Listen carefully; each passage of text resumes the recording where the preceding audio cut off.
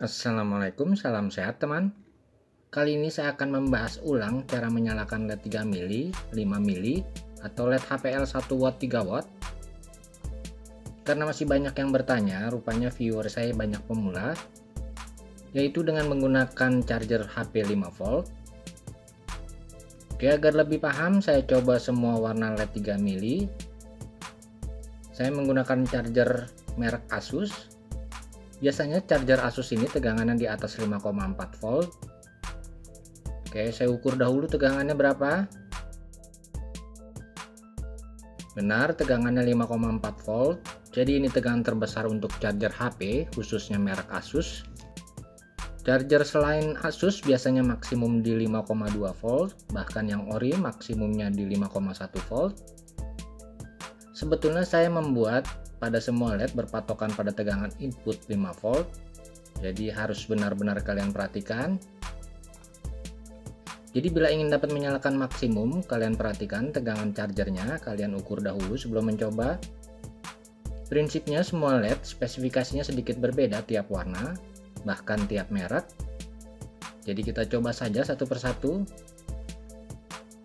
Oke saya coba yang merah dahulu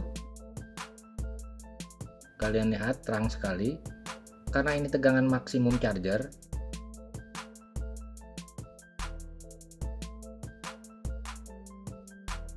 Oh saya ukur saja arusnya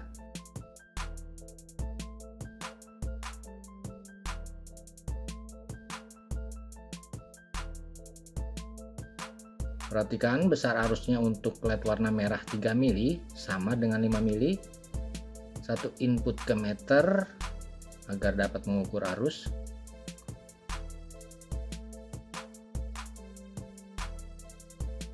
Saya coba pasang terbalik dahulu tidak nyala. Jadi bila terbalik pemasangan led jangan khawatir tidak akan rusak. Hanya saja tidak mau menyala. Saya balik lagi polaritasnya. Dan arus terbaca 20 mA ini sebetulnya arusnya terlalu besar untuk led 3 mili atau 5 mili jadi bila kalian menggunakan charger merek Asus, kalian perbesar saja nilai seri resistornya. Di sini saya menggunakan 150 ohm, bila charger Asus seperti ini, kalian ganti dengan nilai 180 ohm per 4 watt. Kemudian yang putih, positif, dan ini negatif.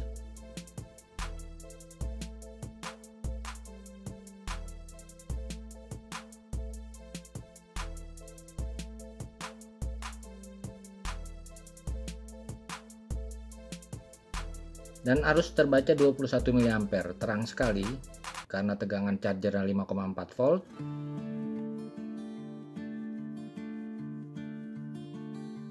Di sini saya menggunakan resistor seri 100 ohm. Jadi bila kalian pakai charger Asus kalian perbesar saja nilai R nya menjadi 120 ohm per 4 watt. Kemudian saya coba yang kuning. Terlalu besar juga arusnya tapi bila menggunakan charger merek lain pasti di bawah 20 mA. LED 3 mili atau 5 mili biasanya rusak bila besar arus melebihi 25 mA. Erang saya gunakan di sini 120 ohm, jadi bisa kalian perbesar menjadi 133 ohm atau 150 ohm per 4 watt. Kemudian yang warna biru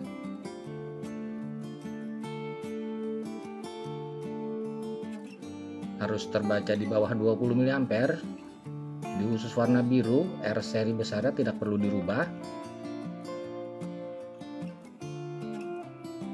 Besar R seri yang digunakan sama sebesar 120 ohm seperempat watt.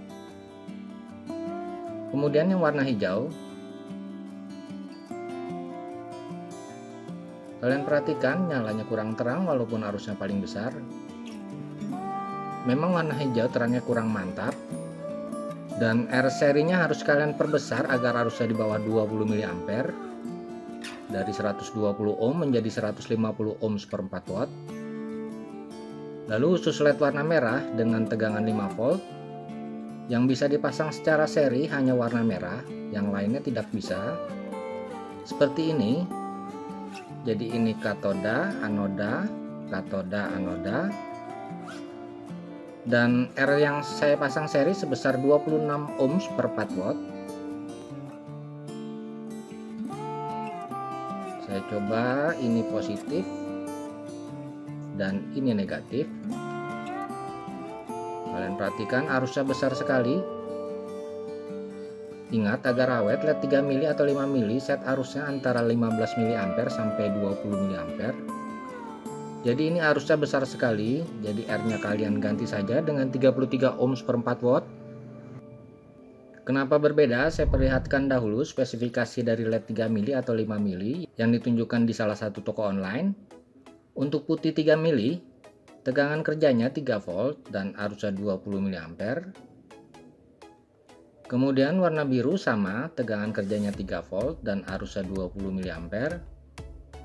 Lalu yang hijau, tegangan kerjanya 3 volt, arusnya 20 mA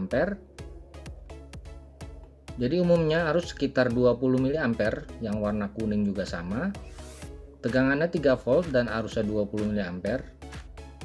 Yang sedikit berbeda yaitu LED 3 mili warna merah yaitu tegangan kerjanya di 2 volt. Karena itu dengan menggunakan tegangan input 5 volt, LED warna merah bisa dipasang secara seri dan arusnya sama sekitar 20 mA. Kemudian saya coba nyalakan HPL 1 watt Resistor yang saya gunakan dua buah paralel 12 ohms per 4 watt. Jadi nilai barunya menjadi 6 ohm setengah watt.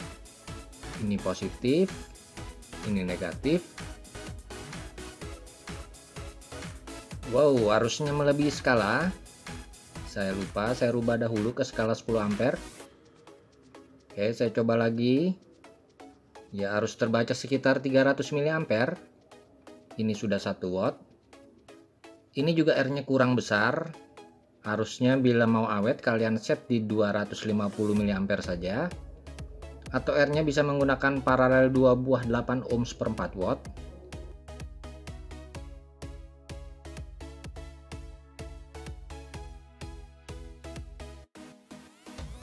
Lalu akan saya coba HPL 3 watt. Saya paralel 5 buah resistor 10 ohms per 4 watt dengan nilai baru sekitar 2 ohm 1 watt.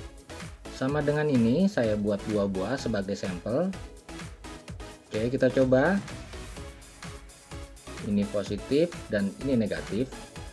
Perhatikan besar arusnya terbaca sekitar 700 mA mendekati 3 watt. Sepertinya yang 3 watt sudah cocok. Mantap oke ini juga sama sekitar 700 mA lalu yang sering banyak ditanya bagaimana bila di paralel ini akan saya coba paralel jadi bila ingin diparalel, tiap LED atau HPL tetap kalian beri R satu persatu. Seperti ini, kalian paralel dengan resistornya. Jadi dengan cara ini, cara paling aman dan mudah, saya jamin akan awet. Dan banyaknya paralel tergantung dari kemampuan charger HP yang kalian gunakan. Bila kalian menggunakan charger 1 ampere, bisa memparalel dua buah LED 3 watt. Dan yang 1 watt bisa diparalel sampai 8 buah LED 3 mili atau 5 mili bisa diparalel hingga 30 buah. Perhatikan bila diparalel.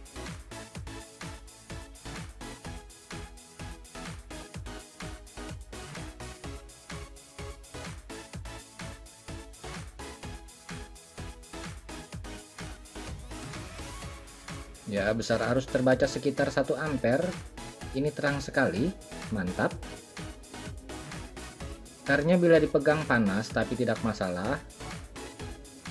Oke, saya gambar sedikit rangkaiannya. Ini untuk LED 3 mili atau 5 mili. Ini untuk LED warna putih, hijau, biru, kuning. R seri yang digunakan. Bila LED warna merah kalian gunakan R 180 ohms per 4 watt. Bila warna putih kalian gunakan 120 ohms per 4 watt.